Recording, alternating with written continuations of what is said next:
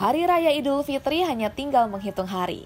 Hal inilah yang mendasari para warga Sukabumi untuk rela berdesak-desakan membeli keperluan lebaran, baik itu baju baru ataupun kebutuhan makanan lainnya. Masyarakat yang memadati pusat perbelanjaan di Jalan Ahmad Yani, Kota Sukabumi, didominasi oleh setiap kalangan, mulai dari anak muda hingga orang tua. Cuaca terik di siang hari tak menyurutkan semangat para warga untuk terus berbelanja. Parkiran motor pun terlihat memadati sudut jalan yang ada di depan pertokoan. Meskipun begitu, masyarakat tetap memilih berbelanja di pusat perbelanjaan kota Sukabumi karena selain dekat, keperluan yang dibutuhkan masyarakat tersedia di pusat perbelanjaan ini. E, belanja baju sama sendal, hmm. sama kerudung. Oke.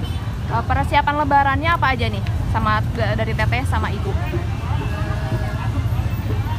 Belanja sama bikin kue aja. Oh, sama bikin kue ya? Iya. Uh, teteh kenapa milih belanja di sini? Uh, lebih dekat. Lebih dekat ya. Terus walaupun ramai juga nggak apa-apa? Iya. Soalnya kalau ke sana ke daerah sana jauh, lebih dekat daerah. Oke. Okay.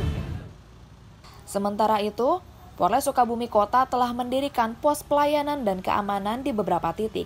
Salah satunya di depan pusat perbelanjaan dengan mengerahkan 14 personil untuk membantu masyarakat agar merasa aman dan nyaman.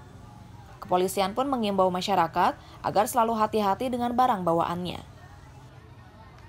Pesan untuk warga masyarakat dari kami pihak kepolisian, hati-hati, waspada bawaannya. Ya, terus eh, bagi yang membawa kendaraan roda dua, tolong kuncinya jangan ketinggalan, terus kunci ganda. Nah, kemudian juga bagi warga masyarakat yang menggunakan roda empat jangan menyimpan barang-barang berharga di mobil, antisipasi terjadinya pecah kaca.